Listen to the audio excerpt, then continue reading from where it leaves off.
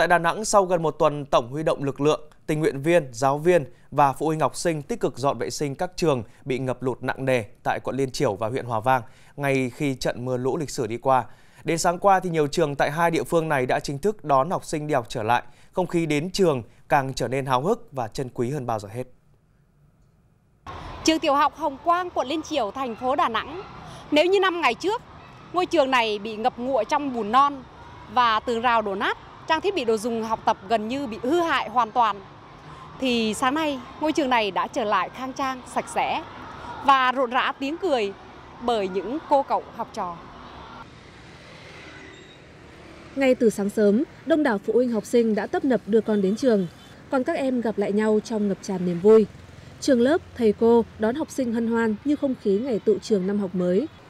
Riêng với các cô giáo, ngày trường học mở cửa trở lại sau bão lũ như món quà ý nghĩa trong ngày 20 tháng 10.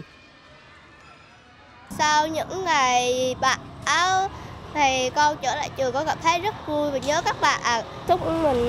đưa con đi học thì nói chung là rất là mừng. Nhưng mà cũng cảm ơn quý thầy cô hiệu trưởng trường là cũng cho con em nó đi học sớm để à, cho con nó có biết cái chữ rồi cho phụ huynh họ đi làm. Cách đây 5 ngày thì ai cũng biết thì cái trường trung học hôm qua là bị thiệt hại rất là nặng nề. Nhưng mà sau một cái thời gian gọi là à, hết sức cố gắng à, được sự hỗ trợ của các tổ chức, đoàn thể, các lực lượng, thì đến nay thì công tác dọn dẹp, sau lũ thì cơ bản đã hoàn thành và sáng hôm nay thì nhà trường đã đón học sinh đi học trở lại thì cảm xúc thì rất là vui mừng hơn một cảm xúc rất là khó tả thì thấy các em học sinh đến trường đi học trở lại các em cũng phấn khởi rồi các thầy cô giáo lại quay trở lại trường tiếp tục công việc dạy học của mình thì nói chung là tất cả đều vui vẻ sau sau một cái trận à, mưa lụt vừa qua. Để có sách vở và đồ dùng học tập cho các em học sinh thuộc các trường bị thiệt hại nặng nề sau bão, Sở Giáo dục và Đào tạo thành phố đã vận động các nhà hảo tâm tặng sách vở, đồ dùng học tập để bảo đảm cho các em không bị thiếu đồ dùng học tập. Trước đó một ngày, lãnh đạo Liên đoàn Lao động thành phố Đà Nẵng đã trao hỗ trợ hơn 2.000 bộ sách giáo khoa từ lớp 3 đến lớp 12 cho học sinh là con đoàn viên, người lao động bị hư hỏng sách vở do ảnh hưởng của đợt mưa lũ vừa qua. Gần 2 km bờ biển tại tổ dân phố Tân Mỹ, phường Quảng Phúc, thị xã Ba Đồn, tỉnh Quảng Bình đã bị nước biển xâm thực gây sạt lở nghiêm trọng. Hiện nay, tỉnh Quảng Bình và chính quyền địa phương đang khẩn trương tìm phương án khắc phục để bảo đảm an toàn tính mạng và tài sản cho người dân. Tình trạng sạt lở dọc bờ biển này đã gây ảnh hưởng đến đời sống của 10 hộ dân với 42 nhân khẩu ở Tân Mỹ. Hiện nay, tỉnh Quảng Bình đã chỉ đạo chính quyền địa phương phối hợp với lực lượng biển, biên phòng chủ động di rời người dân bị ảnh hưởng đến nơi an toàn. Đồng thời đề nghị các sở ngành liên quan cần khẩn trương nghiên cứu đề xuất phương án khắc phục thực trạng sạt lở của tuyến bờ biển nhằm bảo đảm an toàn cho người dân.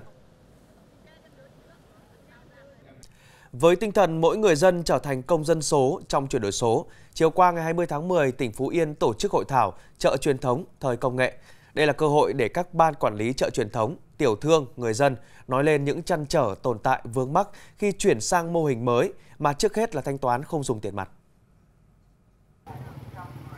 Theo tỉnh Phú Yên, hiện 100% các xã có kết nối đường truyền số liệu chuyên dùng. Tỷ lệ dân số trưởng thành có điện thoại thông minh là 62,45%, tỷ lệ hộ gia đình có kết nối băng thông rộng là 76%. Đây là cơ sở quan trọng để Phú Yên có thể đạt thứ hạng chuyển đổi số vào nhóm trung bình trong cả nước trong tương lai nói chung và thanh toán không dùng tiền mặt nói riêng. Đặc biệt là sự chuyển biến chuyển đổi số tích cực tại các chợ truyền thống, tạo sự tiện lợi nhanh chóng, hiệu quả vào công việc hàng ngày của người dân. Ngày 20 tháng 10, Ban Quản lý Di sản Văn hóa Thế giới Mỹ Sơn phối hợp với các đơn vị xây dựng website thực tế ảo VR360 chi tiết cho Di sản Văn hóa Thế giới Mỹ Sơn. Trong giai đoạn 1 từ năm 2022 đến nay, Di sản Văn hóa Thế giới Mỹ Sơn được xây dựng website thực tế ảo VR360 chi tiết cho toàn bộ di sản, tích hợp tính năng thuyết minh ảo, thuyết minh giới thiệu tổng quan, đưa mô hình 3D bảo tàng số lên vị trí map 3D, Pivot World Giai đoạn 2 triển khai trong cuối năm 2022 và 2023, website thực tế ảo di sản văn hóa thế giới Mỹ Sơn được nâng cấp giao diện, cập nhật tính năng mới, tạo không gian triển lãm cho bảo tàng trên Metaverse để người xem có thể tham quan từ xa, nâng cao khả năng tương tác và xoay 360 độ. Sáng 20 tháng 10, hội thảo đầu tư kiến tạo tương lai đã diễn ra tại Hải Phòng, nhằm trao đổi thông tin đến với các nhà đầu tư về tiềm năng, lợi thế của thành phố, mở ra nhiều cơ hội hợp tác với các nhà đầu tư trong thời gian tới Hiện các khu công nghiệp Hải Phòng đều được đầu tư với các công trình hạ tầng kỹ thuật bảo vệ môi trường đạt tiêu chuẩn quốc tế. Thành phố luôn khuyến khích nhà đầu tư tăng cường sử dụng nguồn năng lượng tái tạo, năng lượng gió, năng lượng điện mặt trời áp mái, sử dụng các công nghệ sản xuất bảo vệ môi trường. Nhân dịp này, Ban Quản lý Khu Kinh tế Hải Phòng đã trao giấy chứng nhận đầu tư cho dự án sản xuất màng bọc trong tấm pin quang điện có tổng vốn đầu tư 98 triệu đô la Mỹ do công ty trách nhiệm hữu hạn First Global Business làm chủ đầu tư.